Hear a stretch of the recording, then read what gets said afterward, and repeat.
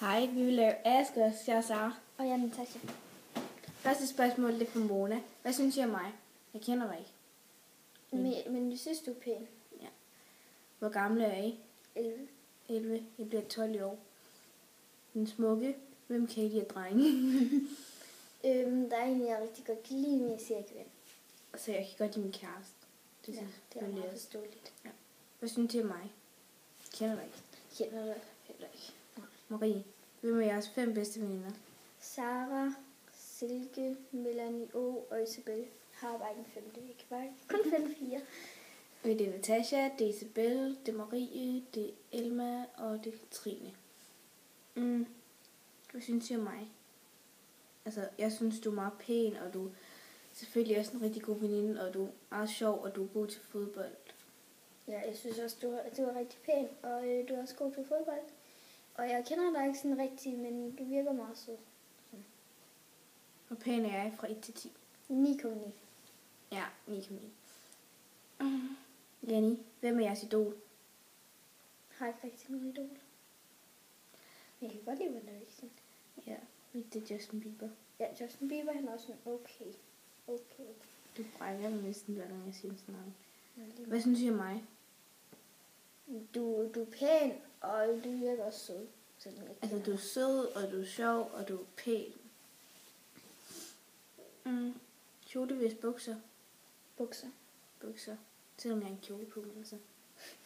Veninder, hvis kæreste. Ja. Jeg kan ikke vælge. Sommer, hvis vinter. Jeg kan godt lide vinter, jeg kan også godt lide sommer, men det er bare fordi Ja. om vinteren, der kan man sådan ordentligt stå på ski. Ja. Men om sommeren kan man ordentligt bade og blive brun, selvom du aldrig bliver brun. Nej, sådan er det bare mig. Så ja. Mm. Chips, hvis kiks. Chips.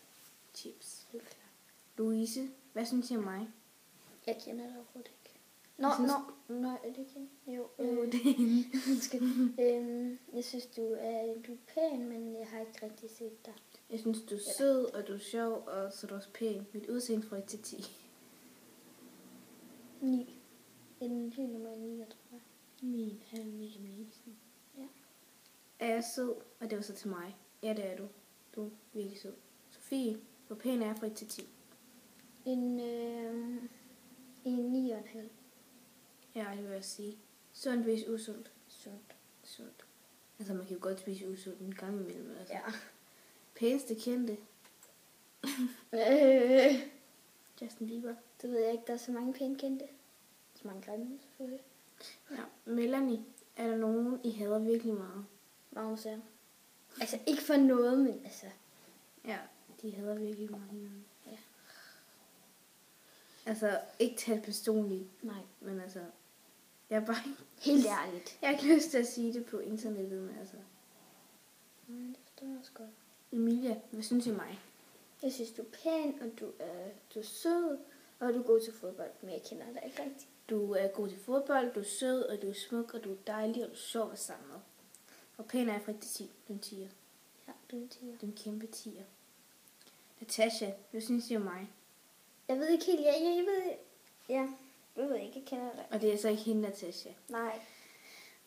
altså, jeg synes, du er sød, og du er sjov, og du er god til dans. Og ja, du er god til dans. Og øhm, One Direction, hvis Justin Bieber. Justin Bieber. One Direction. Altså, jeg kan godt lide One Direction, men jeg elsker Justin Bieber. Ja. Hvad hader I mest ved hinanden?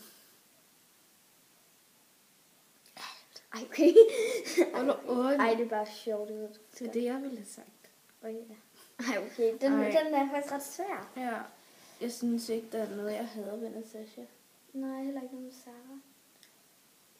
Øh, altså jo, jeg hader jo meget ved hende, når der er vi oppe og skændes, men Ja, altså. så tænker man bare på den sådan. ja, men ellers så hader Ellers så...